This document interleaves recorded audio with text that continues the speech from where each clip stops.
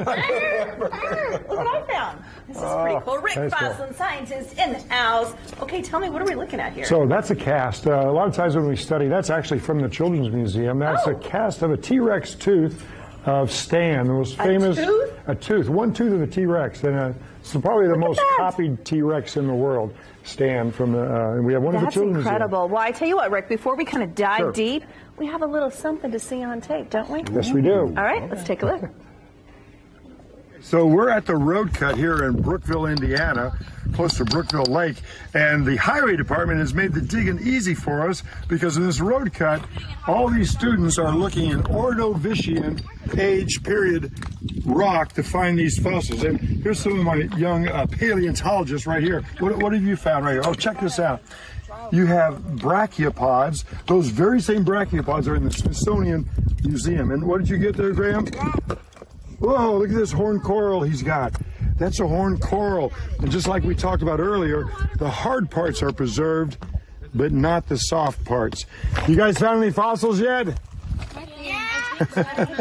too many. I guess. All right, let's get back to fossil collecting here in Brookville, Indiana. Five times older than dinosaurs. Okay, so we've been here for a while, and these kids have some treasures. Ordovician.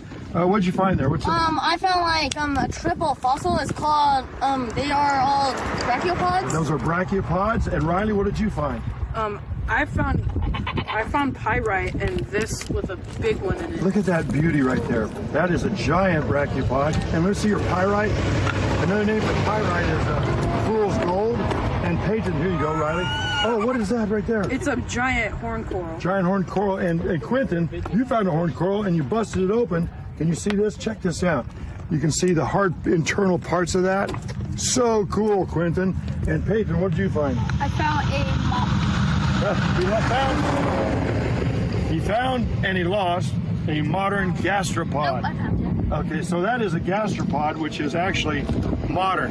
And I found something, well, I don't know if you can see this. This is part, let me get a field wash right here.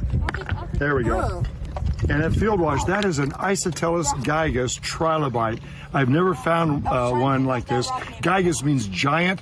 This is a giant trilobite, nine inches long, that roamed the ocean floor millions of years ago. Check that out, guys.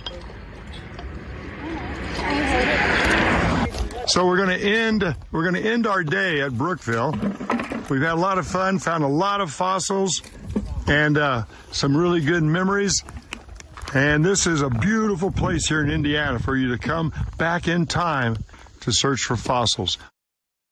How neat is that? Wow. I bet the kids loved it. They do. Oh, it's a long drive. Fascinating. So anybody can just go there and start Yeah, looking for I mean, fossils? you got to make sure you don't park on the road, Right, and, and we don't dig. We just do surface collecting. Okay. Yeah. So, right. but, uh, but it's back in time. I mean, this part, uh, you and I can't really understand how old these things are. Mm-hmm. This trilobite piece is 450 million years old. Now, we can't even think how old that is. I mean, you really can't. But to think that these things are still here, they are preserved evidence of past life. To me, it's amazing. Amazing. Uh, it's amazing. Yeah. That, I mean, how do you how do you know it's 450 Yeah. million years? I mean, people Yeah. say, "Oh yeah, how do you know?" Well, for over 100 years, geologists around the world have studied different layers. And, and the kids, we draw these pictures.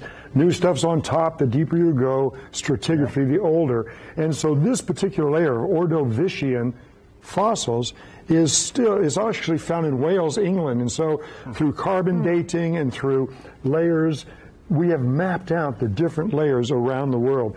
And, but it's still even hard to explain because this particular layer was when Indiana was close to the equator and was covered by a shallow ocean. We know that because these brachiopods, crinoids, and gastropods only can live in 100 feet or less of water. But then this is an Indiana fossil that's only 250 million years old, the time of the Carboniferous. Oh, now wow. that was a find. That's from southern Indiana. That is just amazing uh, to see that. Now, That's incredible. It's, what's ever, the fossil is gone, it's petrified, but this is a fossil that's 10,000 years old. Ooh, I don't this is actually, should touch it. that's actually fur of a woolly mammoth from Siberia. Oh, wow, that's But- incredible. But as you see, most of these fossils are the remains. Uh, uh, Randy, this one's for you. Yeah. These are older than me, Amber. Yeah, Well, that, any guess what that is? Uh, no. yeah. Yeah, Well, Rick, thank is. you so much.